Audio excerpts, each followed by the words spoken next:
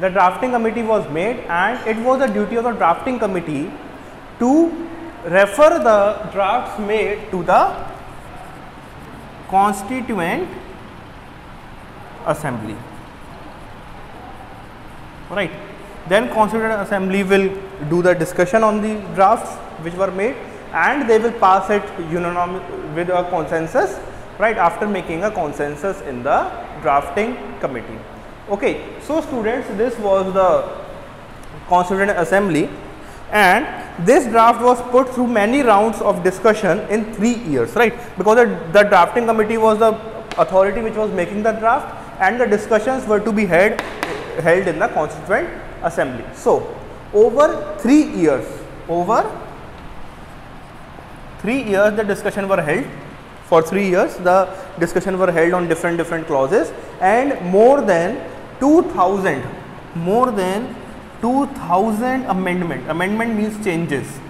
Amendment were made in the in the draft of the constitution and later on the final constitution of the country was ready and the date on which it was ready was 26th of September 1949 right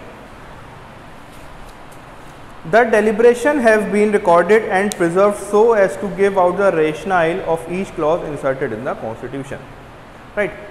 On 15th of August 1947 as we all know the India was declared an independent nation and the dominion of India and that of Pakistan became independent nations.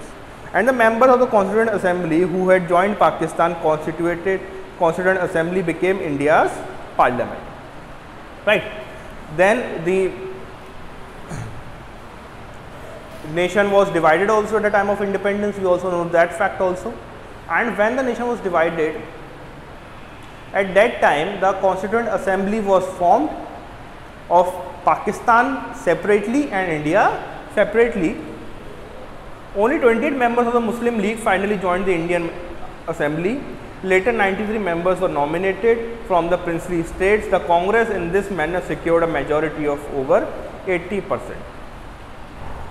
The parley continued for finalization of the constitution. It was 26th of November 1949 that I said the date. It is important that the date on which the constitution was ready to be formed was 26th of November 1949 right?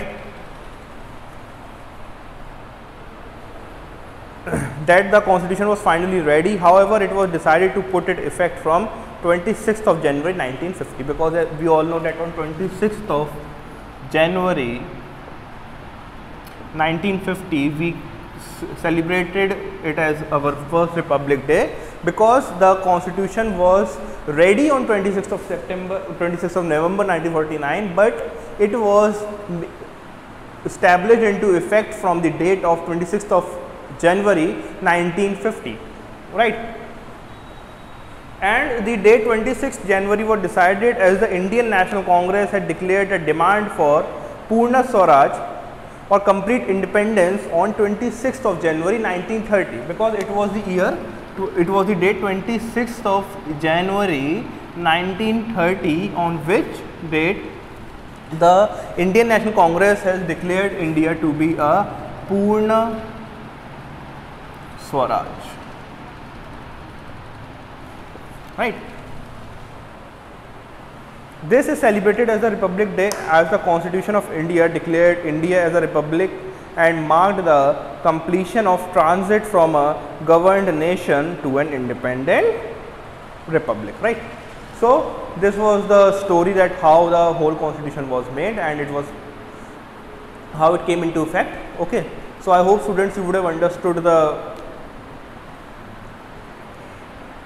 constitution of India, right, that how the constitution was India was made and what was the constituent assembly. We will meet in the next video with more discussion about the topic. Till then, stay at your homes and stay safe. Thank you.